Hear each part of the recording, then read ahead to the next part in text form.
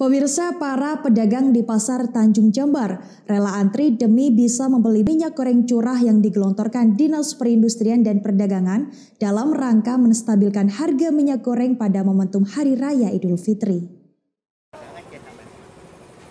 Penggelontoran minyak goreng curah sesuai harga eceran tertinggi atau HET sebesar Rp14.000 per liter atau Rp15.500 per kilogram disambut antusias para pedagang di Pasar Tanjung Jember. Penggelontoran minyak goreng curah sesuai ketentuan HET dari pemerintah ini sebagai upaya menjaga stok dan menstabilkan harga minyak goreng curah di pasaran selama momentum lebaran.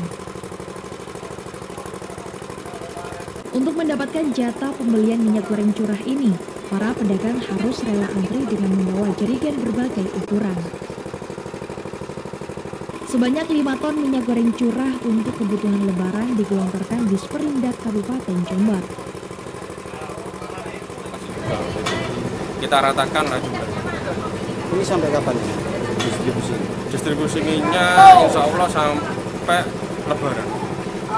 Kalau pedagang rata-rata mereka jual sekitar 15.500 per kilo. Yang ngikuti HET dari pemerintah. Selain di Pasar Tanjung ada di lokasi lain nggak? Di Pasar Tanjung untuk sekarang lokasinya ada di Pasar Kerewangan juga sama di Sumber Baru tadi. Di Sumber Baru Tanggul. Selain di Pasar Tanjung, penggelontoran minyak goreng curah juga dilakukan di sejumlah pasar tradisional lainnya.